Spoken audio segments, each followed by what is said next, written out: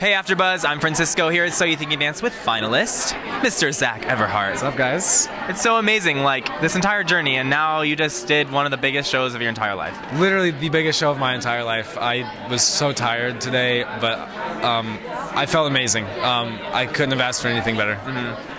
You guys, you had how many dances did you have tonight? We all had a total of six dances, and that is one group, uh, solo, and four duets. That's insane. Like, It is insane. It's absolutely insane. and you guys only have how many days? Uh, we actually have we have about uh, one and an hour and a half, two and a half, so four hours.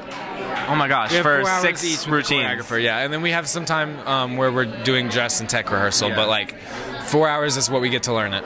So throwing down all this choreography, each duet and your solo, well, you know, you do your solo in your own time and your group of dance. What did you learn about yourself? Because as a dancer, you kind of like learn about yourself going through Yeah, these like entire absolutely. processes. Um, I definitely learned that uh, no matter what the challenge is, if you set your mind to it, you've got motivation and a good attitude, you can do it. Mm-hmm. No matter what it is, you, my, our bodies are falling to pieces, and we're still. It's time to do this. you know, go. we get jumped, we get pumped. So it's mind over matter all day. What routine tonight was possibly one of your favorites to do? Um, I'm gonna say my tap with Aaron, uh, just because you know anytime I get to tap on national TV Yeah. is amazing for myself and for the art form. Yeah, and for Um, tap. And exactly, yeah, it was an amazing night for tap tonight.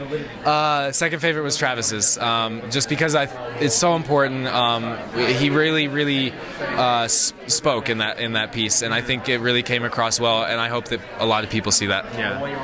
Your fans have been, you know, loyal to you. They got you here. What do you want to say to them? Like, what does Zack have over, you know, Ricky and Valerie and Jessica? Why should they vote for you this week? And to convince other people. Yeah, uh, you know, I just want to let my fans know how grateful I am to be here. Um, I never thought I'd be standing here. I never thought I'd be make it to the end like this. I never, in my wildest dreams, thought that I would have a chance to make it as America's favorite dancer. So I just have to say thank you, thank you so much for the votes every week. Because I, I mean, I could not be standing here. I think it's so cool that you guys, you said you got cut in season nine with Aaron. Yeah. And now you guys have both made it on the show, Yeah. both in the finale, like completely full circle. It's crazy. That was actually the last time I saw Aaron was when we got cut together and Yeah. then left together. Um, and then I watched him throughout last season.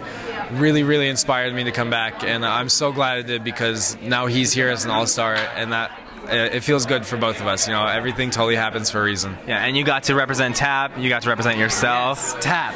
It was tap, such tap. a good night for Tap. We had four Tap numbers on that stage tonight. Tap's murdering! Get it.